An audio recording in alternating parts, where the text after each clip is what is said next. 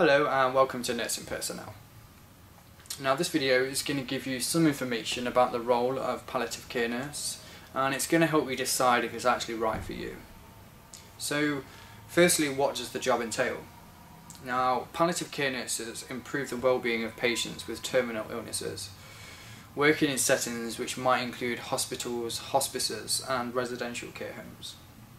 Now Typical duties will often include performing general nursing duties such as treating wounds, monitoring conditions, setting, planning and implementing care programs.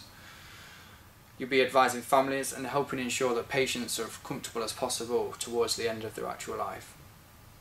Now, because of the sensitive nature of this role, it's essential to be empathetic and respectful, in addition to being caring and very friendly.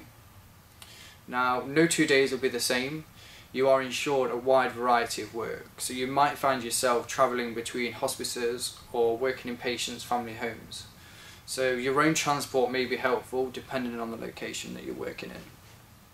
So like a lot of healthcare roles, you may find yourself working flexible hours, including evening and weekends. Now, working as a palliative care nurse is an excellent way to specialise and further your nursing career you will have to have at least one year's relevant post-qualification experience and any additional qualifications will also be beneficial.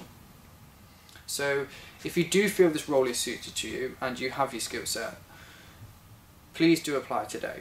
We at Nursing Personnel, we're always looking for palliative care nurses and the quickest way to start working with us is to register on our website and book your interview. Now once this has been done, we can quickly begin placing you into work. Now, we hope you found this short video useful. If you do want to discuss the vacancy or need any more information, please contact our friendly booking coordinators team. They're always here to help, so just pick up the phone anytime you need to. Thank you.